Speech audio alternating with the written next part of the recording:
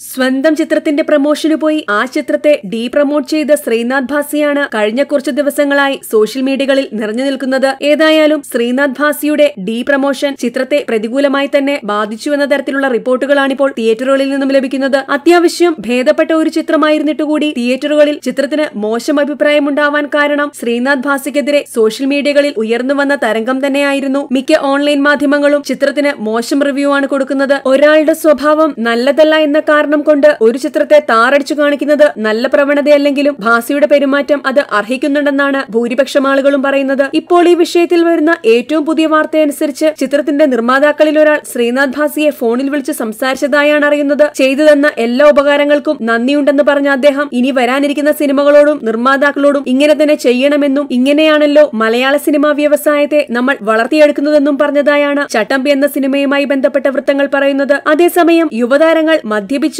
അല്ലെങ്കിൽ മറ്റ് ലഹരികൾ ഉപയോഗിച്ചതിനു ശേഷമോ പൊതുവേദികളെ പ്രത്യക്ഷപ്പെടുന്നത് നല്ല പ്രവണതയല്ലെന്നും മേലാൽ ഇത്തരം പ്രവൃത്തികൾ ഉണ്ടാവുകയാണെങ്കിൽ കടുത്ത നടപടികൾ ഉണ്ടാവുമെന്നും താരസംഘടനയായ അമ്മയും പ്രതികരിച്ചിട്ടുണ്ട്. കൂടുതൽ എന്റർടൈൻമെന്റ് വാർത്തകൾക്കായി ദയവായി ചാനൽ സബ്സ്ക്രൈബ് ചെയ്യൂ.